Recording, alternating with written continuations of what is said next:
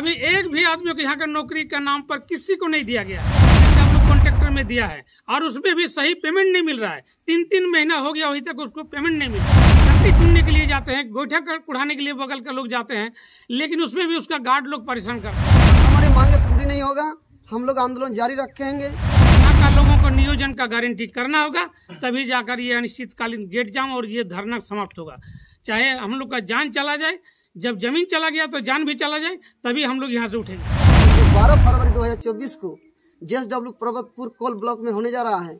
हम लोग coal coal block Parvatpur gate को जाम करेंगे एवं अनिश्चितकालीन धरना करेंगे। जब तक प्रबंधक हमारे मांग को लागू नहीं करते हैं तब तक हम लोग का मांग आंदोलन जारी रहेगा। जोहार नमस्कार और आप देख रहे हैं मनोज ब्लॉगर टू एम। और ये देख सकते हैं हमारे बीच बहुत सारे ग्रामीण अभी हमारे साथ मौजूद है।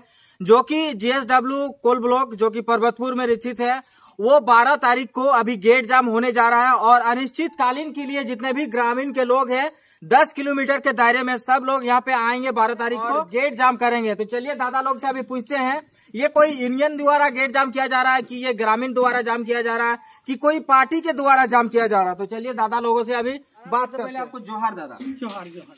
दादा आप लोग जो जाम करने जा रहे हैं, जो कोल ब्लॉक, जो माइंड से चल रहा है अभी जेएसडब्ल्यू ने खरीदा हुआ है तो क्या ये कोई पार्टी द्वारा जाम किया जा रहा है कि ग्रामीण द्वारा ग्रामीण द्वारा जाम किया जा रहा है?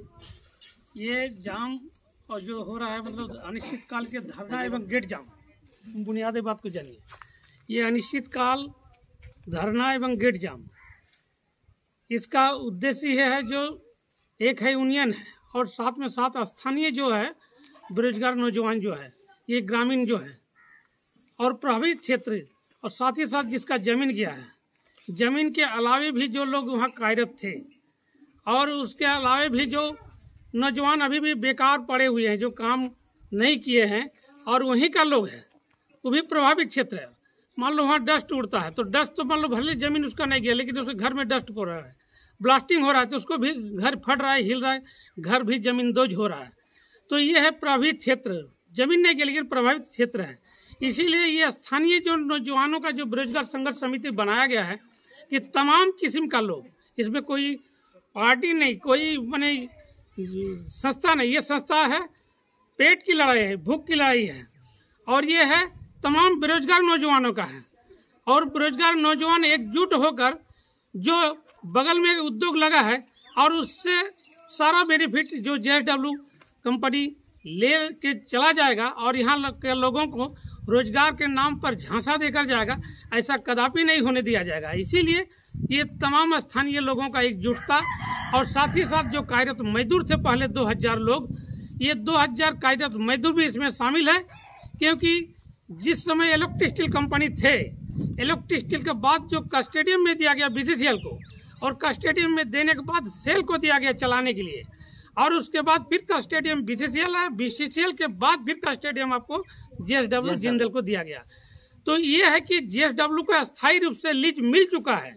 और जबकि कंपनी यहाँ का लोगों को बेवकूफ़ बना रहा है कि लीज नहीं मिला है। लीज जैसे राइटिंग में दे चुका था बीसीसीएल कि हमको खनन पट्टा लीज नहीं मिला है। वैसा जेएसडब्ल्यू यहाँ का लोगों को धोखा दे रहा है कि हमको लीज नहीं मिला है।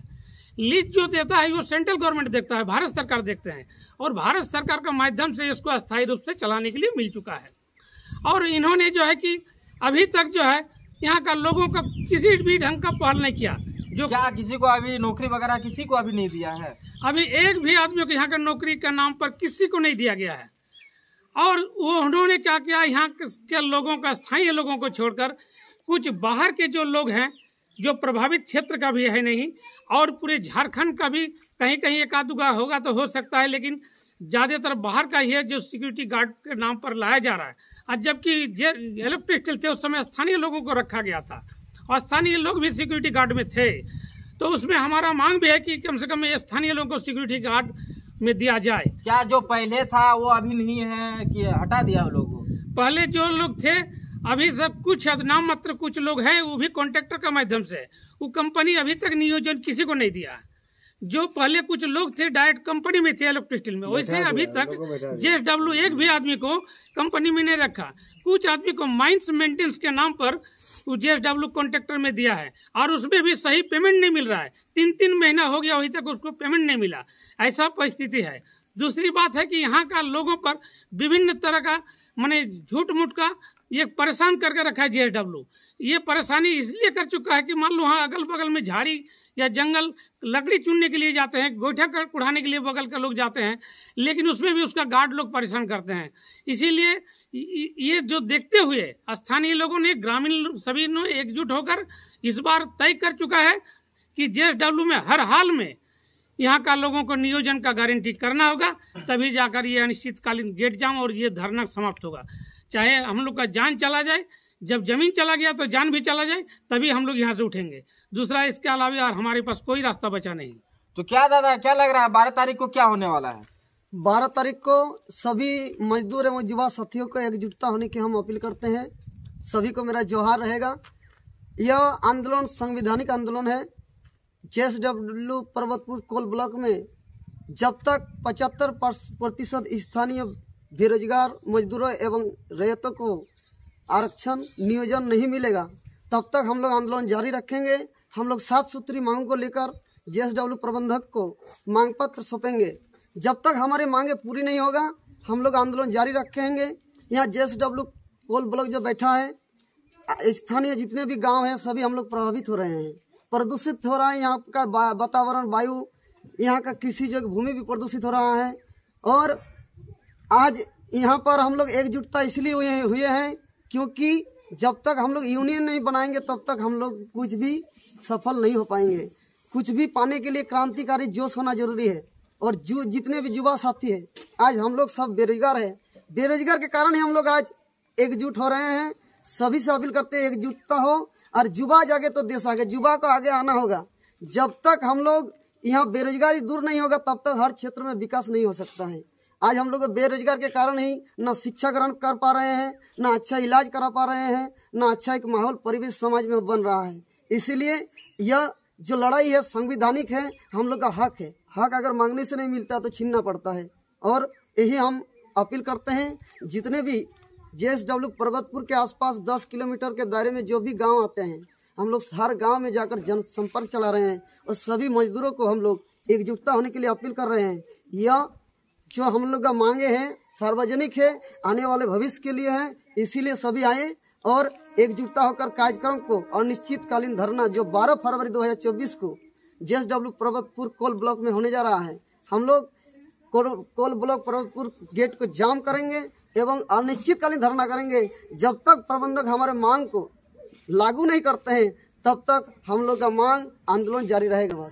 अच्छा दादा, जो आप लोग जाम करने जा रहे हैं अगर मान लीजिए पुलिस प्रशासन आप लोगों को उठा लेता है, अगर केस ठोक देता है तो क्या कीजिएगा आप लोग?